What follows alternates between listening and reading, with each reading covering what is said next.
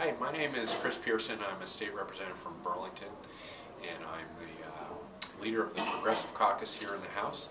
And today I'm going to be talking to you about one of the things I'm most proud of, of which is being the co-founder and co-chair of the Climate Caucus. Uh, Representative Margaret Cheney, who's a Democrat from Norwich, and I last year brought together a group of lawmakers, mostly House members, although the Senate senators have joined us um, here and there. So we were kind of thinking to ourselves, well, we got a lot of um, people in the House in particular where we serve who believe in, in climate change, believe in global warming, believe that it's a product of human activity, and um, we haven't done very much about it. We've done some great work on electric efficiency. We're starting to get uh, do more on thermal issues, on, on home heating and, and, and weatherization. We haven't really tackled this, and, and, and I, the way I see it is for a couple of reasons.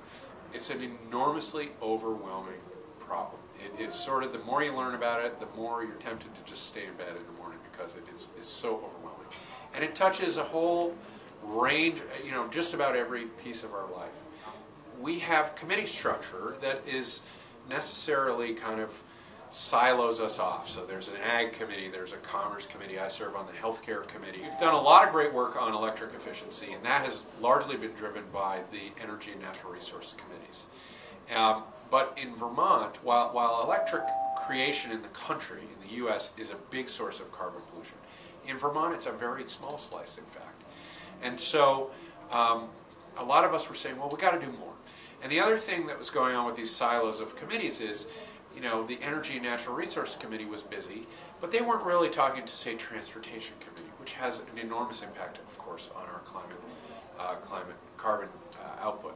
And also our Agricultural Committee uh, and our Tax Committee, all of these things, and Commerce, and on and on and on. Climate touches all of these. And so the Climate Caucus is an informal group. We meet every other week, and it's open to anybody. And we're trying to break down these walls that are created by our committee structure and say, how are we going to get our handle on this? And a lot of people ask me, you know, from time to time, well, you know, even if Vermont had an absolutely sustainable carbon output, if we had zero carbon footprint at the end of, of a year, let's say, if, if we could miraculously accomplish that, you know, you're not going to have a big impact on the nation's carbon output. And that's true because we're a tiny state. So part of my motivation, and I think motivation for a lot of us, is to find solutions that work here in Vermont with the hope that they will be replicated around the country. God knows people are starved for leadership and looking for solutions. And so maybe Vermont, maybe we can help Vermont be the leader in offering solutions uh, because most of us are pretty discouraged waiting for Washington to act.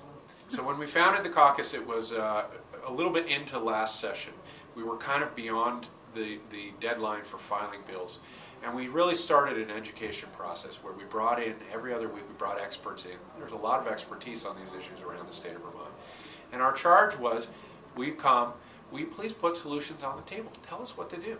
You know, we don't have a half a billion dollars for a great train system in Vermont yet. So what else, what else can we do? We're not just going to sit around and wait for that.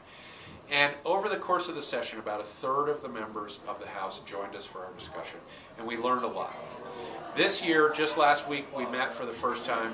We had a packed room. We had more members coming, elected members coming to join us than ever before. And what was really fun was the membership was eager to be pushing the legislative agenda. So uh, creating a packet of bills that we can promote and say, we, the Climate Caucus, think this is some of the direction we should be going.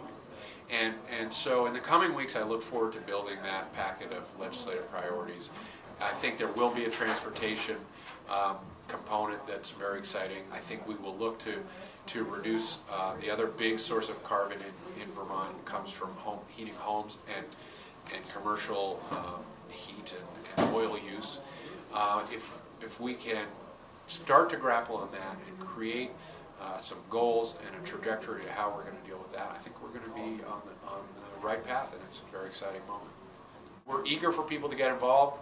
There's a Facebook page that's coming together. It's uh, facebook.com slash VT Climate Caucus. Find us on Twitter. It's just Climate Caucus.